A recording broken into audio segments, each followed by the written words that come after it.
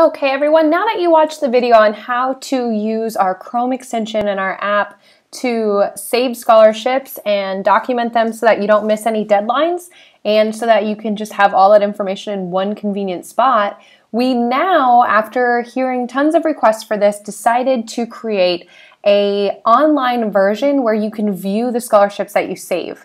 So the link for that is just app, app.thescholarshipsystem.com. So if you just go to app.thescholarshipsystem.com, you'll come across a login page. From this login page, use the new login that you created with the app. Again, if you are a course member, just remember that all these, you know, this system, the app, the extension, and now the web app, they all have the same login, but it is still a different system from the course. So you do have to create a new login through the app. So I already have a login, of course. So I'm just, I went ahead and typed it in and I'm going to hit sign in. And so what it does is it actually pulls all of the scholarships that I've saved. So now the, the reason that this is convenient is because say you want to visit the scholarship on your computer, you can just click the open button and it opens up the link so that you can go right to the application. How awesome is that? So again, you know, before you could only view your list of scholarships that you were working on in your actual app on your phone and we realized, okay, we need to be able to view it from our actual desktop. So what we did was we created this web version of it, okay? Now in here, so you can use this button, the little arrow to open up in a new window to actually go to the link. You can add a scholarship. So if you don't feel like adding it through the Chrome extension in the top browser, you can instead add it right here manually. You can also edit scholarships. So if you click the little pencil, you can edit the name, the link. You can choose maybe it's for your second year, not your first year. Maybe you submitted it. Maybe it's complete. Maybe you won it. Um, and then you just, you know, you can do whatever you want as far as updating it. Hit save and it'll close.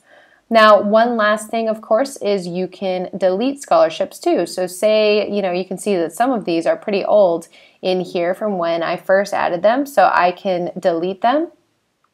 Lastly is um, that I want to talk about are the, the sort functions. So if you want to, you can sort them by alphabetical order. You can sort them by dollar amount. You can sort them by deadline. You can sort, sort them by their status.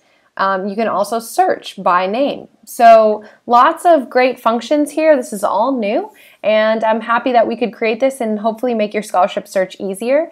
Now again, remember that one of the benefits of using our system to track your scholarships versus an app versus sorry, a, a spreadsheet or you know, a notebook paper or something like that is that it actually does alert you two weeks before the deadline. So make sure that you take advantage of this, that you don't miss any deadlines, because that's one issue that we found. You know, if you don't apply before a deadline, then your chances of winning are zero. So it, this is very important for tracking your scholarships that you already vetted, saving them in here so that you know the only scholarships in here are ones that you already okayed, ones that you already chose to apply to, and so that you get the alert. Now, one last thing, just remember the alert is through the app. So if you don't have the app on your phone, then you won't get the alert. So make sure you have the app.